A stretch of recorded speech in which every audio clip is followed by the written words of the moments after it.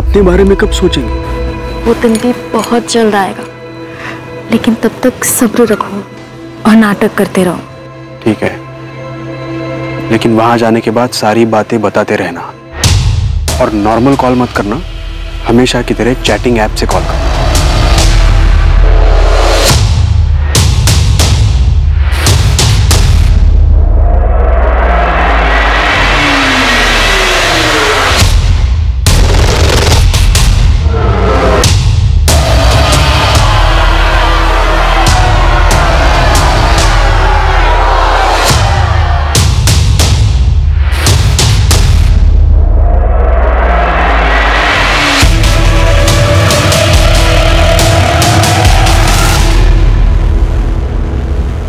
देख बेटा तुमने बहुत सताया उन्हें अब थोड़ा सहना सीख।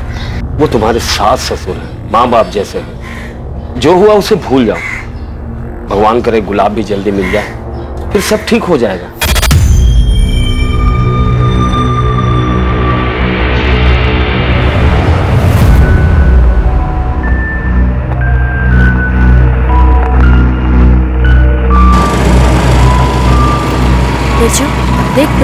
सबसे पूछताछ कर रही है तुझसे भी करेगी। तू बस शांत रहना और जैसा विक्रांत कहेगा ना बिल्कुल वैसा ही कहना। मधु तू मुझे मत सिखा मुझे क्या बोलना है? बच्चा नहीं हूँ। अरे तू गुस्सा क्यों हो रहा है उसके ऊपर? वो समझा रही है ना तुझे?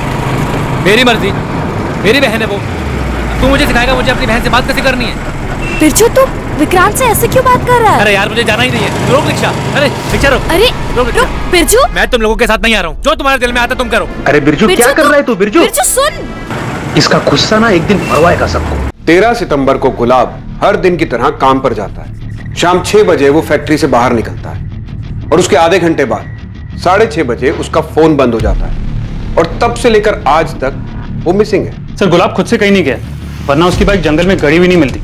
ये किसी और का काम है। सर पहला संदिग्ध मनीष पांडे। गुलाब की वजह से मनीष पांडे की नौकरी गई और मनीष भी तेरह सितंबर से गायब है। मेरी देवास में मानिक नगर पुलिस से दोबारा बात हुई। वो पूरे इलाके में तिहाड़ी मजदूरी करने वालों के बीच पता कर रहे हैं। दूसरी मधु। मुझे नहीं लगता मधु को अपने पति के आने या ना आने से ज़्यादा फ़र्क पड़ता है। मधु के पिता और भाई बिरजू इन दोनों को भी अच्छे से खंगालते हैं। सर मधु के बारे में एक गौर करने वाली बात है। गुलाब और नगमा के अफेयर का चारा सबसे पहले उसने हमारी तरफ़ फेंका था। इन दोनों परिवारों के बीच कुछ है जो हमें नहीं पता जो शायद हमें कोई लीड दे सके। इसके अलावा धीरे से दोबारा बात करो। गुलाब से अच्छी दोस्ती लगती है उसकी। शायद गुलाब ने उसे कुछ बताया हो। सर गुलाब अपने बारे में ज़्यादा बात ही नहीं करता था। बस हम दोनों की परेशानियों के बारे में ही बातें होती थी। उसने कभी अपने बारे में कुछ बताया ही नहीं। ठीक है और कुछ ज़्यादा है तो हमें फ़ोन करना। ठीक है। गुलाब भैया जैसे भले इंसान से किसी की क्या दुश्मनी हो सकती है? ए राघव असलम से जरा पूछना बाकी के पैसे कब देगा? चार्ज देने थे दस हज़ार दिए अभी क्या खुसर फुसर चल रही है? काम पे ध्यान नहीं तुम लोगों का? साले सारे सुपरवाइजर ऐसे ही भौंकते हैं क्या? इसका भी कुछ बंदोबस्त करना पड़ेगा। गजेंद्र मौर्य नाम का एक आदमी है जो अपनी बेटी के साथ यहीं थाड़ेर गाँव में रहता है। गजेंद्र मौर्य। जी सर अभी कुछ दिनों पहले ये गजेंद्र अपने घर के पीछे बड़ा सा खड्डा खोद रहा था। पड़ोसी ने आवाज़ सुनी। इससे गुलाब का क्या लेना देना? लेना देना है सर। गजेंद्र और गुलाब का बाप मंगल दोनों पुराने दोस्त थे। अभी कुछ महीनों पहले इनकी दोस्ती दुश्मनी में बदल गई। क्या बकवास कर रहा है तू मंगल? अरे तेरा बेटा अगर सुपरवाइजर बन गया तो सोने में तुलवा देगा इसको क्या? देख लेन देन की सारी बात हो चुकी है। मंगनी हो चुकी है पीछे मत हट। वही तो मैं तुझे कह रहा हूँ गजेंद्र। पीछे मत हट। मेरे बेटे का अब समाज में एक रुतबा है। अब ये सब कमाने के लिए दाम तो देना पड़ता है ना। और मैं क्या तू और तेरी झूठी शान। अरे तू मना कर देगा तो मेरी बेटी की शादी नहीं होगी क्या? तो जग कर लेना रोको ना तुझे। लेकिन एक बात याद रखना मेरे बेटे के लिए रिश्तों की लाइन लगी हुई है। सौ गाँव में भी ढूंढेगा ना गुलाब जैसा लड़का नहीं मिलेगा तुझे। बहुत गुरूर है ना तेरे को इसके ऊपर। तेरा गुरूर तोड़ूँगा मैं और तोड़ के ही दम लूँगा। इनकी दोस्ती के बारे में पूरे गाँव को पता था और अभी दुश्मनी के चर्चे भी हर जगह हैं। एक दूसरे की शक्ल तक देखना पसंद नहीं कर रहे लोग। ये क्या तरीका है? ये मेरी ज़मीन है या गड्ढा खोदूं या दीवार बनाऊँ? मेरी मर्ज़ी आपको क्या? और नियम कानून जानता हूँ मैं भी। कायदे से आप मेरे घर में घुस के मेरी चीज़ों को खराब नहीं कर सकते। हैं कायदे से तो हम बहुत कुछ कर सकते हैं। लेकिन अब सीधे तरीके से काम करने आए करने दीजिए।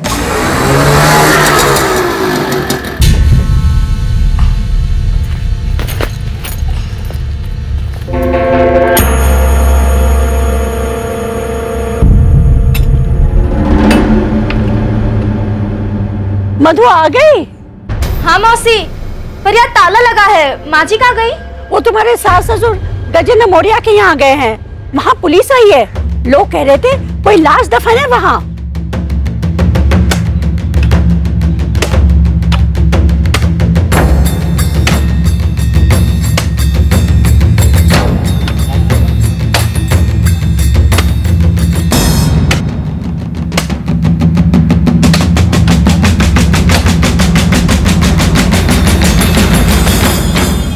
मंगल? डर लग रहा है ना। बंद कर गजेंद्र। मंगल! मुझे नहीं पता था तू बदला लेने के लिए इतना नीचे गिर जाएगा। एक मिनट शांत हो जाइए आप लोग।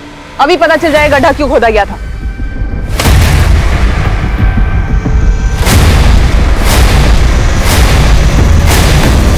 ये तो बछड़ा है। मेरी भैंस का बच्चा पैदा होते ही मर गया था। उसको यहाँ गाड़ दिया मैंने। तो ये सब पहले नहीं बता सकते थे तुम? ये बखेड़ा खड़ा करने की क्या ज़रूरत थी? मुझे इस आदमी के चेहरे पर डर देखना था।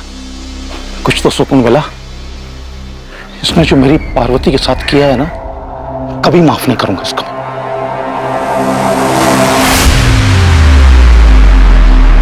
वो तुम्हारे लिए कुछ खरीदा था? कैसी लगी? बहुत सुंदर है। पार्वती किस करनी तुम्हें? अं, डरो नहीं वो अंग्रेज़ी वाला किस नहीं? सिर्फ़ गाल पर। अच्छा हाथ पर?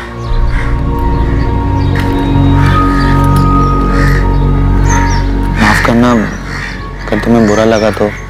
मैंने सोचा हमारी शादी होने वाली है तो शायद तुम्हें बुरा नहीं लगेगा। आजकल हिंदी फ़िल्मों में भी अंग्रेज़ी वाला किस करते हैं ना?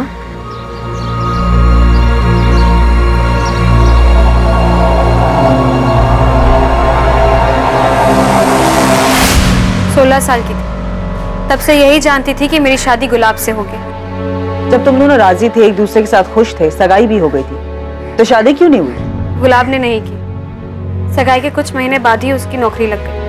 फैक्ट्री में सुपरवाइजर बन गया। बस उसके बाद सब बदल गया। अरे भाई अब दामाद जी सुपरवाइजर बन गए हैं। और मैं सोच रहा हूँ अगले महीने की 18 तारीख को शुभ मुहूर्त है उस दिन दोनों की शादी करवा देते हैं। शादी तो हो ही जाएगी गजेंद्र। आ, जरा लेन देन की बात तो कर ले। अरे यार लेन देन की बात तय हो चुकी है मुझे मालूम है शादी का पूरा खर्चा और पाँच लाख दे दूँगा और शादी से पहले दूँगा। गजेंद्र गुलाब अब सुपरवाइजर बन गया है। सुपरवाइजर का मतलब समझता है? सारे काम का जिम्मा अब उसका होगा। मालिक तो नहीं लेकिन मालिक से कम रुतबा भी नहीं है उसका। अब पाँच लाख में काम नहीं चलेगा। सुपरवाइजर का दस लाख तो बनता है ना? यार क्या बोल रहे तू?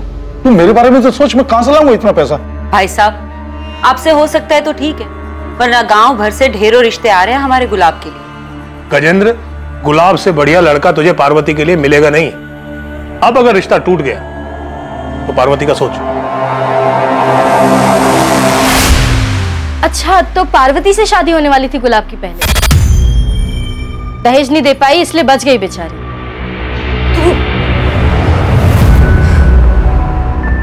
आपने उस गजेंद्र को देखा? कैसे सबके सामने मुस्कुरा रहा था?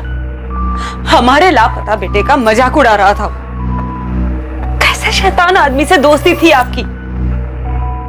कहीं कहीं उसी ने तो हमारे गुलाब को कुछ कर नहीं दिया होगा ना?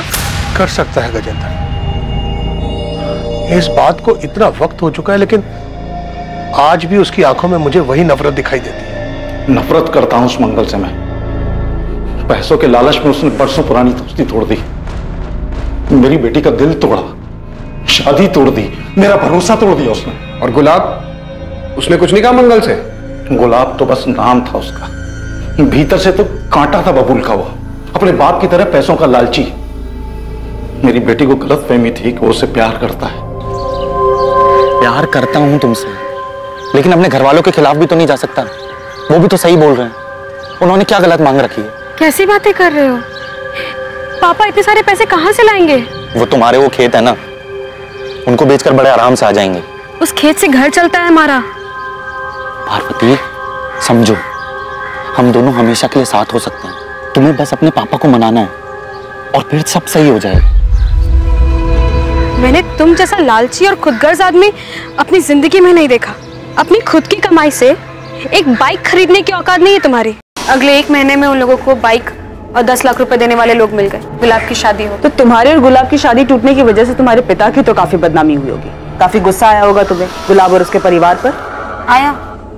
बहुत आया। और किसी को भी आता। तो इसलिए तुमने और तुम्हारे पिता ने गुलाब के साथ कुछ कर दिया। मार दिया उसे। करना बहुत कुछ चाहता था मैं लेकिन ऊपर वाली की लाठी में ना आवाज़ नहीं होती है। देखिए ना पूरा एक साल नहीं हुआ शादी की है और गुलाब गायब हो गया। छुपी तो होगी ये बात कि जो सुख आपकी बेटी को नहीं मिला वो गुलाब को मिल गया। मधु के साथ उसने सुखी परिवार तो बसा लिया था। जो होता है अच्छा होता है। और मधु को क्या हासिल हुआ उस शादी से? दुख। गुलाब ने उसे घर से बाहर निकाल दिया था लेकिन उस मधु को मानना पड़ेगा। डरी नहीं वो। गिराजपुरा पुलिस स्टेशन पर जाकर रिपोर्ट लिखाई उसने। वहाँ से पुलिस आई और गुलाब को उठा के ले गई। हाँ सर ये छह महीने पहले का केस है। गुलाब की पत्नी मधु ने गुलाब के खिलाफ दहेज उत्पीड़न का कंप्लेंट किया था। अरे! ये, क्या, क्या बात क्या है? आप साहब, कहाँ किया लेके क्या जा रहे मेरे मेरे बेटे को? दहेज उत्पीड़न की कंप्लेंट किया आपकी बहू ने गुलाब के खिलाफ। दोनों परिवारों के बीच कोई समझौता हो गया था तो मधु ने केस वापस ले लिया था। इतना बड़ा कांड हुआ दहेज का केस हो गया गुलाब के खिलाफ। वो अरेस्ट हुआ था। और ये बात ना तो मंगल ने हमें बताई और ना ही मधु ने। और सर गुलाब की फैमिली ने कहा था कि गुलाब की किसी से दुश्मनी नहीं थी। और अब ये गजेंद्र वाला एंगल सामने आया। गजेंद्र के कॉल रिकॉर्ड्स निकलवाओ।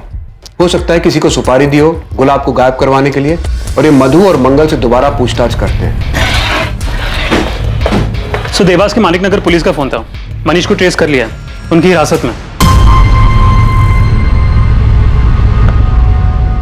आखिरकार लगने लगा था कि जाँच अब सही दिशा में आगे बढ़ रही थी। दोबारा पूछताछ में अतीत की कई दबी बातें सामने आने वाली थी। पर आखिरकार यह सारा मामला था क्या? छह महीने पहले क्या हुआ था? और क्या मधु और उसका परिवार गुलाब को उसके किए के लिए माफ़ कर पाया था? दूसरी तरफ़ factory worker Manish Pandey police की गिरफ्त में आ चुका था। क्या उसने गुलाब के साथ कुछ गलत किया था? पुलिस इन सभी सवालों के जवाब खोज रही थी और तब उनके सामने एक और चौंकाने वाली खबर आने वाली थी।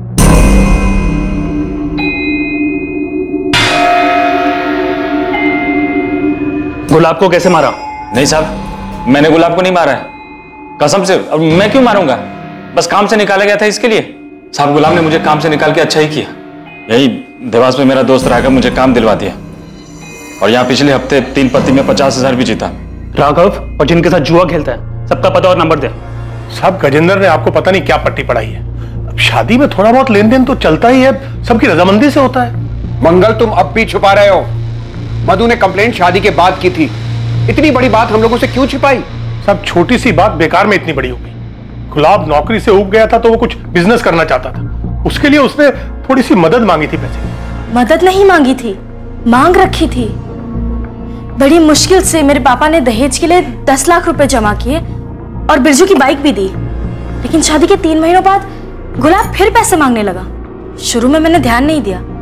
मगर वो लगातार मुझ पर पैसों के लिए दबाव बनाता रहा। मुझे और मेरे परिवार को गालियाँ देता था। उस दिन तो उसने हद ही पार कर दी। माँ जी आप ये नहीं समझाइए ना मेरे पापा और कहाँ से पैसा लाएँगे? थोड़ी ज़मीन बेच दे या कर्जा ले ले। आखिर भला तो उनके ही बेटी दामाद का होने वाला है। माँ जी पाई पाई जोड़कर उन्होंने मेरी शादी की है। पहले से बहुत कर्जा है उनके सिर पे। अरे वो कर्जा तो तेरा भाई बिरजू उतार देगा जब उसकी शादी होगी तो। मोटा दहेज लेगा ना हमारी तरह दस लाख में थोड़ी मानेगा। तुझे प्यार से समझा रहा हूँ तो समझ ही नहीं रही है। मेरा बिज़नेस बढ़ेगा तो तेरा भी तो भला होगा। देखिए मुझे और कुछ नहीं चाहिए जितना है मैं उतने में खुश हूँ। मैं और पैसे नहीं मांग सकती अब बार बार मांगना बंद कर दीजिए। हिम्मत कैसी मुझे मना करने की हम्म? अब चुपचाप अपने घर जा अपने बाप को बोल पैसे दे हाँ? और बिना पैसे लिए इस घर में वापस आई ना तो याद रखना मुझसे बुरा कोई नहीं होगा समझी? चल निकल। निकल बाहर।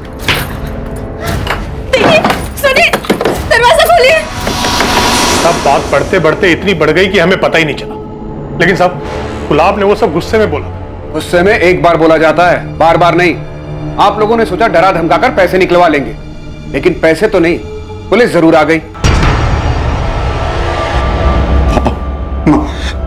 मुझे केस भी करके यहाँ से निकालिए ये गुंडे बहुत खतरनाक है मर्डर करके आए और रोज रात को मारते हैं मुझे। तू हिम्मत मत हारना। हम बहुत जल्द तुझे यहाँ से बाहर ले जाएँगे। जो क्राइम चुपचाप सहता है और उसके खिलाफ कुछ नहीं करता है वो भी उस क्राइम में बराबर का भागीदार होता है मधु।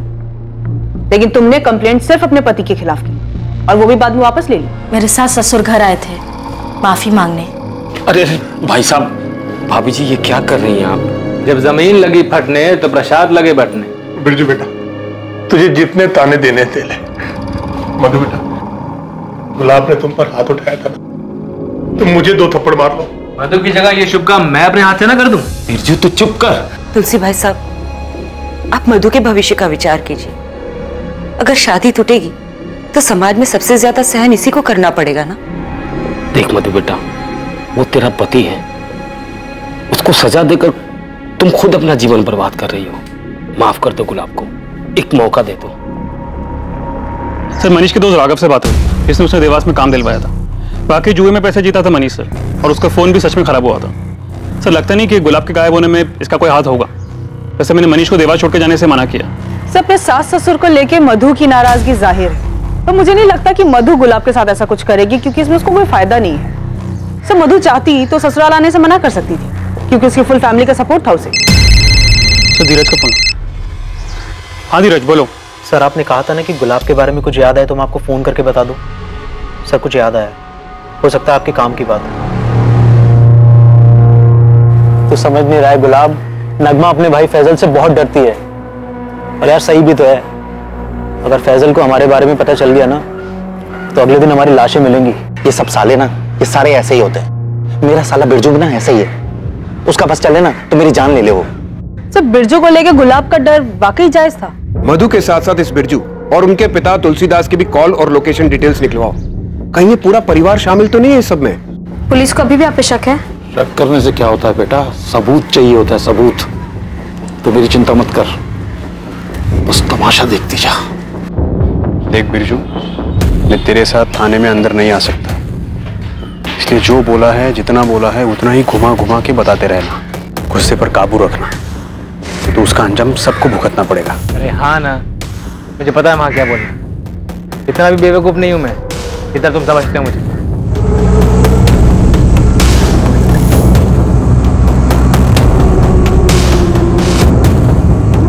गुलाब के गायब होने पर आप लोग मेरे पापा और मेरे भाई पर शक कर रहे हैं। हमने ऐसा कब कहा? तो पुलिस ने उन्हें क्यों बुलाया?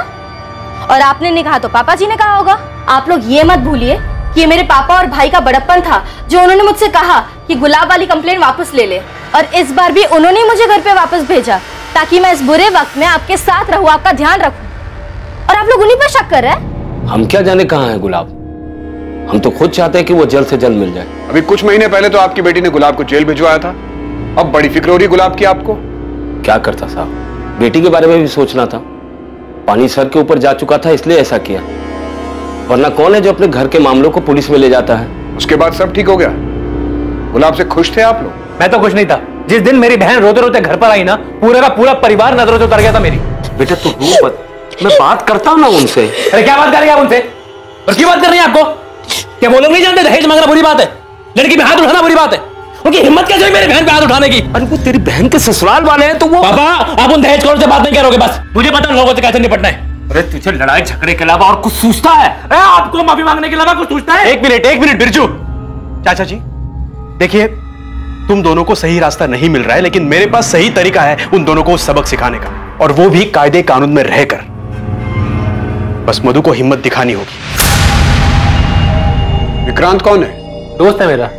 रिक्शा चलाता है। विक्रांत ने ही केस फ़ाइल करने को कहा था। लेकिन मैं नहीं चाहता था कि पुलिस बीच में आए। मैंने मंगल जी से बात भी की और वो गुलाब वो तो मेरा फ़ोन भी नहीं उठा रहा था। साहब मधु को घर आए एक महीना हो गया था। इस एक महीने में ना तो गुलाब ने ना ही उनके परिवार में से किसी ने भी फ़ोन किया। और एक महीने बाद विक्रांत के कहे अनुसार हमने दहेज का केस फ़ाइल कर दिया। तेरह तारीख की शाम और रात को तुम कहाँ थे? घाड़े पर था? घर पर? रात में भी। हाँ।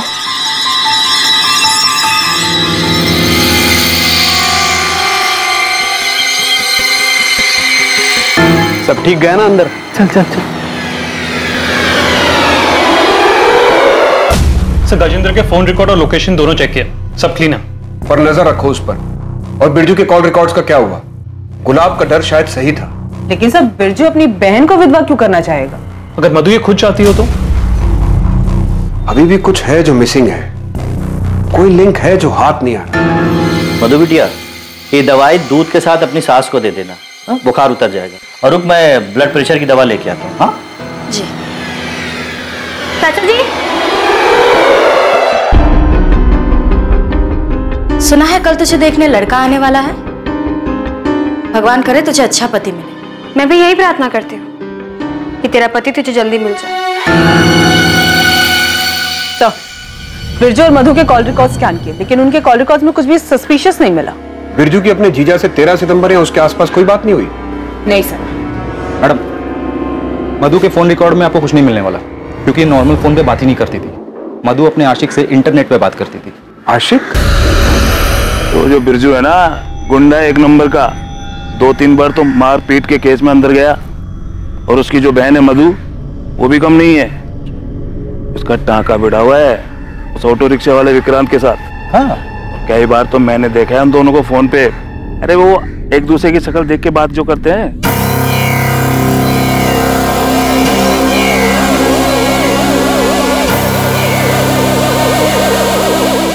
दहेज उत्पीड़न हुआ तुम्हें घर से निकाला गया और गुलाब का अफेयर तुमने हमें यह बताया कि गुलाब छुप छुप के किसी से बात करता था। पर जो तुम बात करती थी विक्रांत से वो तुमने हमें नहीं बताया।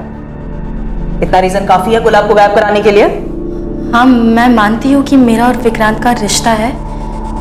मगर हम उसके लिए गुलाब को गायब क्यों करेंगे? गुलाब को तो कुछ पता ही नहीं था इसके बारे में। जैसे तुम्हें पता चल गया था कि गुलाब छुप छुप कर किसी से बात करता है वैसे ही उसे भी पता चल गया हो तो। तो क्या? मैं तब भी उसे गायब क्यों करूँगी? विक्रांत तुम्हारे गाँव का है। तुम्हारे भाई का करीबी दोस्त। तो शादी से पहले से जानती थी तुम उसे। नहीं ये गुलाब की वजह से हुआ। मैं जानती थी कि मेरे पापा ने बड़ी मुश्किल से दहेज के पैसे जमा किए थे। इसलिए शादी के बाद मैं सभी को खुश रखना चाहती थी। लेकिन गुलाब के घर से निकाले जाने के बाद मैं टूट सी गई थी। ऐसे में विक्रांत ने मुझे संभाला। मधु? तुम ऐसे कभी नहीं थी। इतनी बेचारी इतनी कमज़ोर। अब हालात बदल चुके हैं विक्रांत। अब मैं वो औरत हूँ जो अपने पति के लिए रोती है। वो पति जिसने उसे घर से बाहर निकालने से पहले एक बार भी नहीं सोचा। नहीं मधु इस हालत में मैं तुम्हें देख नहीं सकता हूँ मधु। तुम्हें मेरी इतनी चिंता कब से होने लगी? चिंता तो हमेशा से ही थी मधु। तुम्हारी शादी के बाद में मैं तुम्हें भूल नहीं पाया मधु।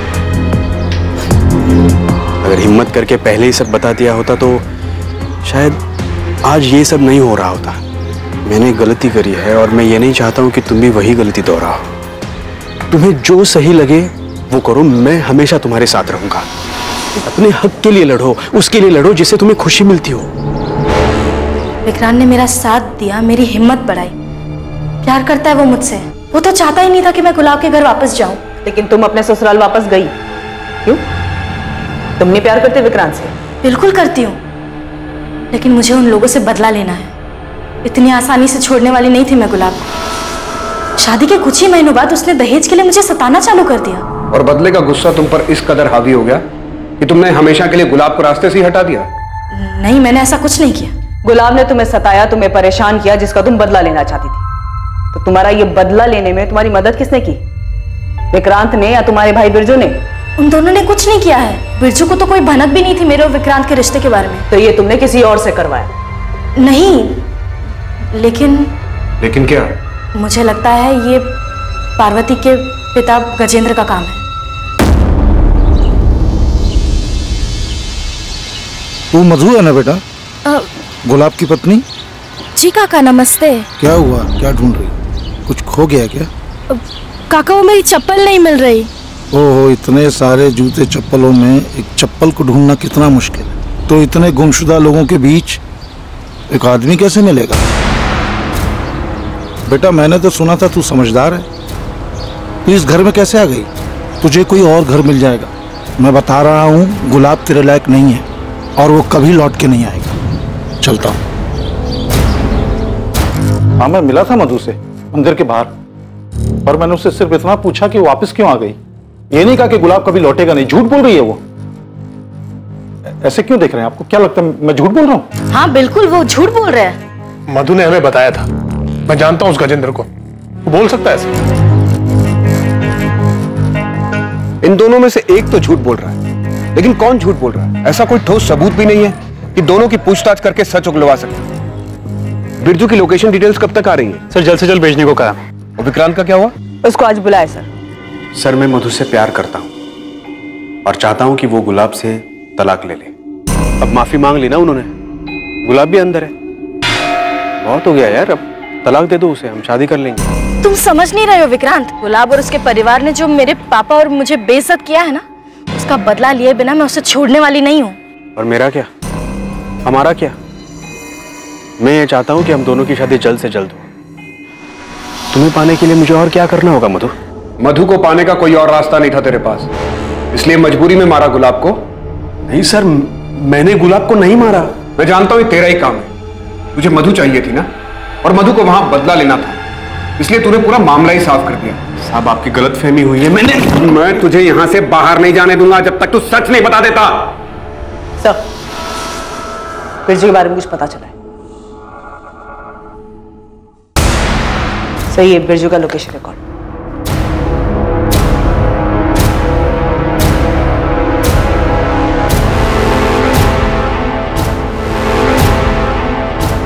विक्रांत तुझे पता था ना कि बिरजू तेरह तारीख को थाडेर आया था? मधु तुझे पहले मुझे बताना चाहिए था ना कि तू विक्रांत से प्यार करती है? ऐसे छुप छुप के मिलने की क्या ज़रूरत थी तुझे? बिरजू बकवास बंद कर। ये कोई वक्त नहीं है इन सब बातों का। बात आने में पता नहीं विक्रांत पर क्या बीत रही होगी। तुझे पता है उस दिन क्या हुआ था? हाँ बताया विक्रांत ने मुझे। इसलिए मैंने पुलिस स्टेशन में गजेंद्र का नाम लिया। ताकि पुलिस को शक उन पर जाए। पर अब पता नहीं ये सब क्या हो रहा है। मैं तो सब ठीक करके तेरी बहन के साथ आराम से रहना चाहता हूँ लेकिन वही है जो शांत नहीं हो रही है। हर रोज कोई ना कोई नया बखेड़ा खड़ा कर देती है। आज मेरी कमीज जला दी। ओए जीजे तूने क्या मुझे मेरी बहन की बुराई करने के लिए बुलाया शुक्र मना कि तू मेरी बहन मधु का पति है। इसलिए ज़िंदा अभी। अरे साले तुझे तो यहीं का यहीं गाड़ देता मैं। तू साले मुझे धमकी दे रहा है। अपनी औकात मत भूल साले। जीत जाऊँ मैं तेरा समझा?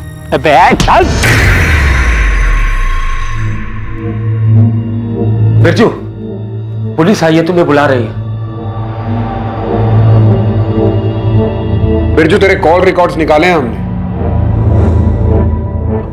हाँ हाँ साहब मैं मानता हूँ। मैं उस दिन गुलाब से मिला था। पर गुलाब ने ही मुझे मिलने के लिए बुलाया था साहब।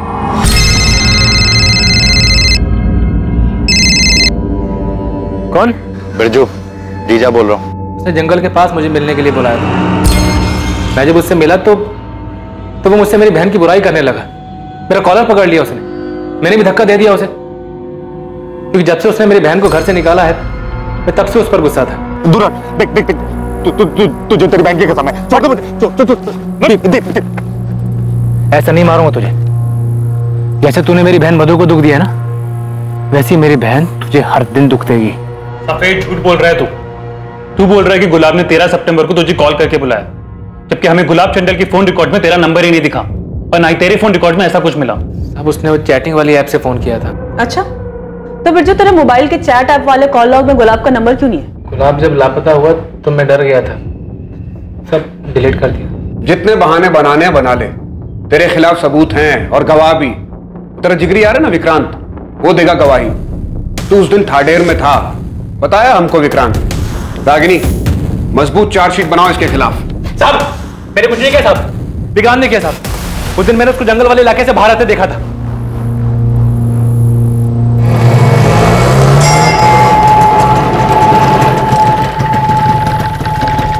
तू ये क्या कर रहा है? अरे वो थाडेर की सवारी मिली तो आ गए यहाँ पे। तू क्या कर रहा है यहाँ पे? अरे वही मेरा फट्टू जीजा उससे मिलने आया था।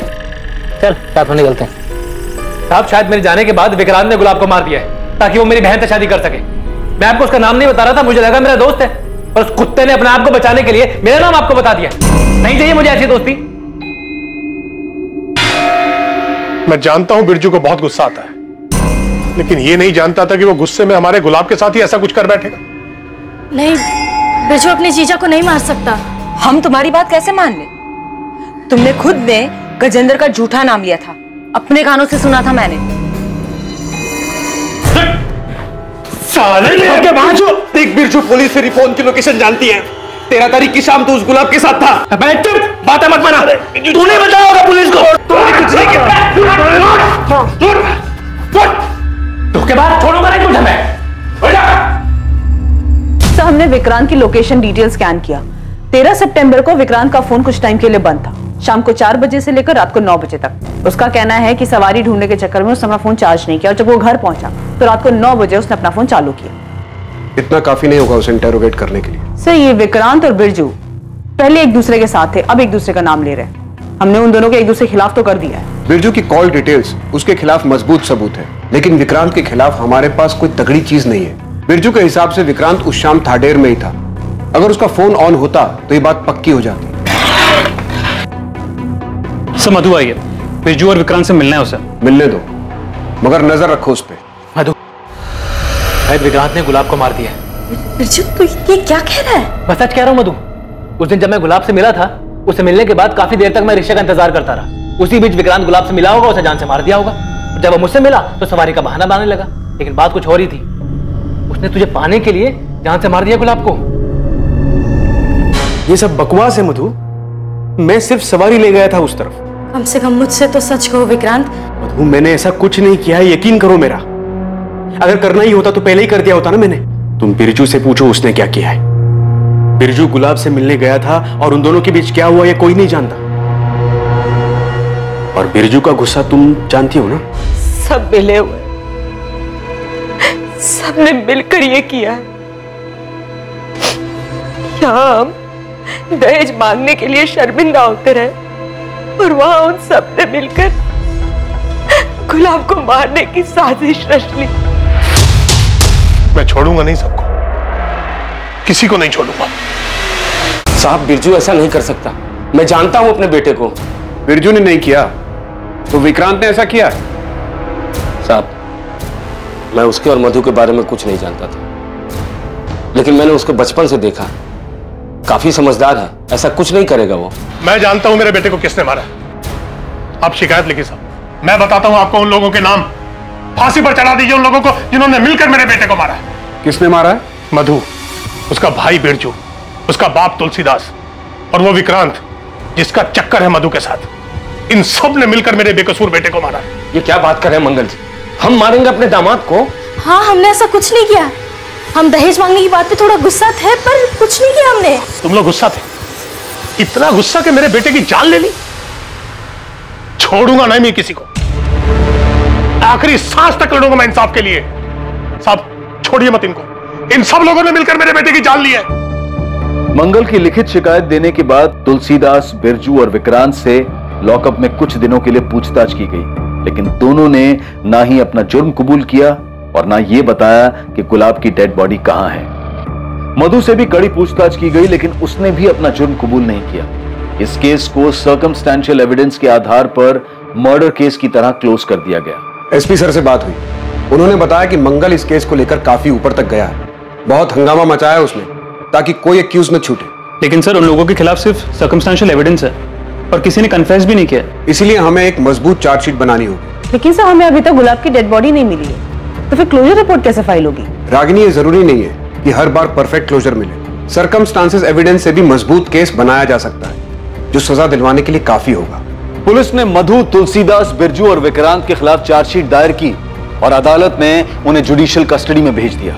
आखिरकार पुलिस की इन्वेस्टिगेशन खत्म हुई और मामला अदालत पर पहुँचने के बाद फैसले का इंतज़ार होने लगा। पुलिस दूसरे केसेस में बिज़ी हो गई। गुलाब के माता पिता अपने बेटे की मौत से शोक और तकलीफ़ में थे और ज़िंदगी की इस हकीकत का सामना कर रहे थे। गुलाब की बॉडी ना मिलने से उन्हें समापन भी नहीं मिल पा रहा कुछ वक्त के बाद मधु को बेल मिल गई और वो अपने पिता के घर रहने लगी। दो साल बाद एक ऐसा संयोग होने वाला था जो इस अधूरे केस को पूरा करने वाला था। गुलाब मर्डर केस जो अब तक पुरानी फाइलों में दफन था, वो फिर से खुलने वाला था।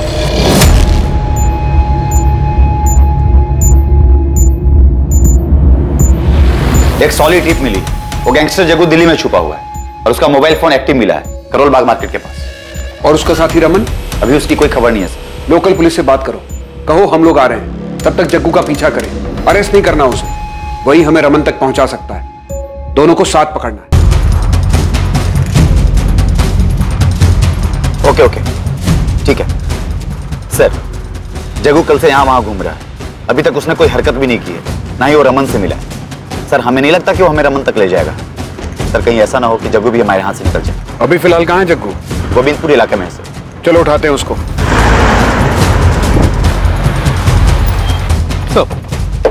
कहाँ है जग्गू? मार्केट के आगे वाले मोहल्ले में छुपा है। सो ये देखिए पान की दुकान पे।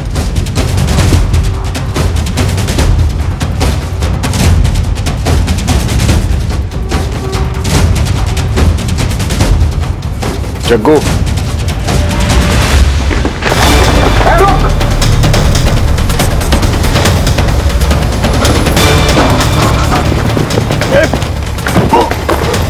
Hello. Sorry sorry sorry देखा नहीं मैंने। सॉरी रुक। गुलाब है ना? हाडेर गाँव में घर है तेरा। तो मर चुका था।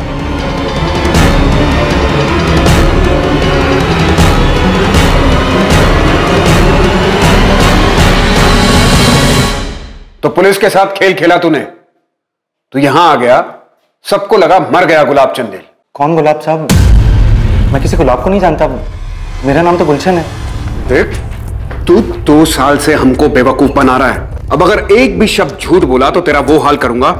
पूरी ज़िंदगी दिन का उजाला देखने के लिए तरस जाएगा। आ, वो बड़े साहब से मिलना है। यहाँ से फ़ोन आया था मुझे। आपका नाम? श्वेता। मैं गुलशन गुलाब चंदेल की पत्नी हूँ। अपना नाम बदलने का एक ही तरीका सूझा तुझे? अपनी पत्नी और उसके पूरे परिवार को अपने ही मर्डर केस में फंसाकर भाग जाने का? अब सब कुछ सच सच बता दे। उस दहेज के केस के बाद बहुत बेइज्जती हुई साहब मेरी। मधु और उसके परिवार ने मुझे कहीं का नहीं छोड़ा था साहब। केस वापस लेने के बाद मधु भी घर वापस आ गई लेकिन एकदम बदल गई थी साहब। वो मुझे ताना मारने मुझे जलील करने और मुझे तकलीफ़ देने का एक मौका नहीं छोड़ती थी। तूने जो दूसरों के साथ बर्ताव किया ये सब उसी का नतीजा था। आगे बोल। उसके बाद मैं मैं श्वेता से मिला। तुम गुलाब की पत्नी हो। हाँ सर। सर मेरे पति बेकसूर हैं। उन्होंने कुछ भी नहीं किया। हम लोग तो बस थाडेर से सब कुछ छोड़कर यहाँ आ गए थे। तुम कब और कैसे मिली गुलाब से? सर 2015 में मेरे पहले पति की मौत हो गई थी। बहुत अकेली हो गई थी। मेरे ससुराल वालों को लगता था कि मैं अशुभ हूँ उनके लिए। मेरी वजह से उनके बेटे की मौत हुई। जैसे तैसे ठोकरे खाकर कुछ वक्त गुजारा मैंने। लेकिन फिर हिम्मत जुटाई। और एक फैक्ट्री में काम करने लगी। गुलाब वहाँ पर सुपरवाइजर थे। लिए उनका बर्ताव बाकी सबसे बहुत अलग था बहुत अच्छा। वाह हमारा हाथ तो बड़ा तेज चल रहा है। अच्छा सुनो आज एक घंटे का ओवर टाइम कर लोगी? शीला नहीं आई है ना? और ये सारा काम आज ही खत्म करना है। फ़िक्र मत करो तुम्हें ओवर टाइम का अलग से पैसा मिलेगा। हाँ कर लूँगी। श्वेता का अकेलापन मेरी हालत से जुदा नहीं। जहाँ वो बिल्कुल अकेली थी, वहाँ अपनों के बीच में रहकर भी मैं खुद को अकेला महसूस करता था। श्वेता अक्सर ओवर टाइम करती थी सब और इसी बीच हम दोनों के बीच में काफ़ी बातें होने लगी।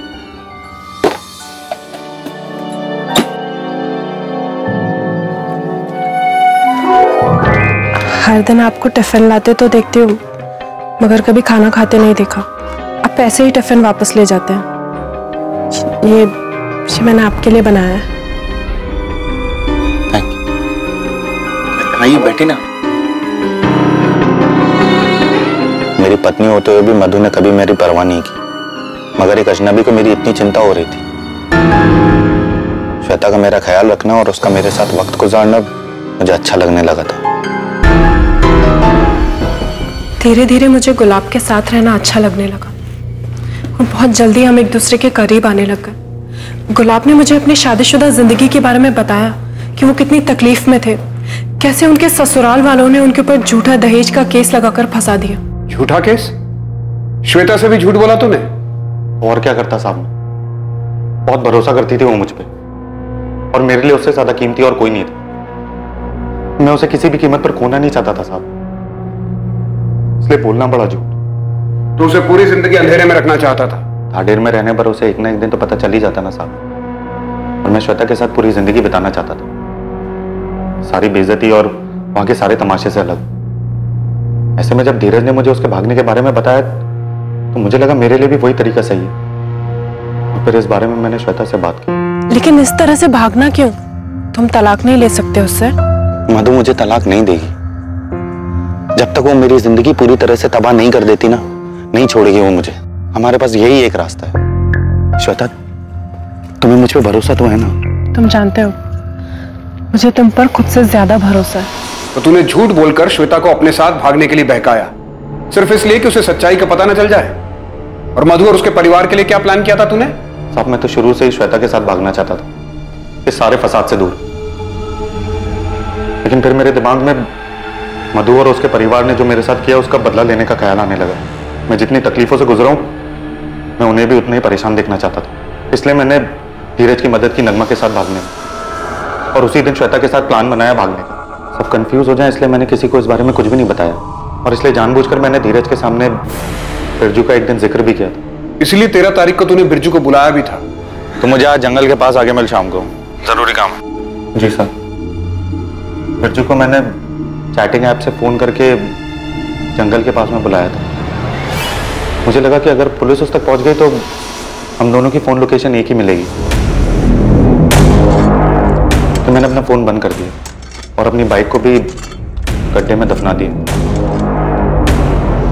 तू चाहता था कि हम बाइक तक पहुँचे और समझे कि किसी ने तेरे साथ कुछ करके बाइक को दफना दिया। फिर बाकी का काम तेरे परिवार पर अतीत में लगा दहेज का केस, धीरज का स्टेटमेंट और बिरजू का फ़ोन लोकेशन कर देगा। और विक्रांत के लिए क्या प्लान किया था तूने? सर विक्रांत के लिए क्या? तू नहीं जानता। मधु का अफेयर था विक्रांत के साथ। मधु का अफेयर था? सर मुझे जरा भी अंदाज़ा नहीं था। गुलाब बदला लेने के लिए ये सब प्लान कर रहे हैं। मुझे तो लगा मुझसे प्यार करते हैं सिर्फ़ प्यार की खातिर सब कुछ छोड़ रहे हैं। उसने सब छोड़ा तो। लेकिन पहले मधु और उसके बेकसूर परिवार को फंसाने का सब कुछ प्लान किया उसके बाद गाँव छोड़ा। उसने हमारे बारे में भी नहीं सोचा। बीते दो सालों में मधु को तो बेल मिल गई थी, लेकिन बिरजू, तुलसीदास और विक्रांत के बेकसूर होने के बावजूद गुलाब के पकड़े जाने के बाद ही वो जेल से बाहर आ पाए। क्या ज़रूरत थी ये सब करने की? क्या हासिल हुआ? इस सबसे दूर हम हँसी खुशी रह सकते थे ना? लेकिन तुमने तो सबसे पहले अपना बदला लेना ठीक समझा। बेकसूर लोगों को फंसाया? लेकिन तुम कर्म का चक्र भूल गए। गुलाब चंदेल के ज़िंदा मिलने पर मधु, तुलसीदास, बिरजू और विक्रांत पर उसकी हत्या के लिए दायर किया गया केस खारिज करके उन चारों को बाइज्जत बरी कर दिया गया। दूसरी तरफ़ गुलाब चंदेल को धोखाधड़ी करने के लिए आईपीसी की धारा 420 के तहत गिरफ़्तार किया गया। फ़िलहाल गुलाब जमानत पर बाहर है। ज़िंदगी में यह समझना बहुत ज़रूरी है कि हमें कभी भी अपनी भावनाओं के आगे घुटने नहीं टेकने चाहिए। कुछ करने का नतीजा पहले से ही समझ लेना बहुत ज़रूरी है। बदले की भावना में किसी को चोट पहुँचाने और दर्द देने का अंजाम दर्द देने वाले को भी भुगतना पड़ता है। क्राइम नेवर पेस अब मैं अनूप सोनी आपसे विदा लेता हूँ। कल रात कौन बनेगा करोड़पति के करमवीर एपिसोड के बाद आपसे फिर मुलाकात होगी एक और नए केस के साथ। जय for more update subscribe to our channel click the show links and enjoy watching the videos.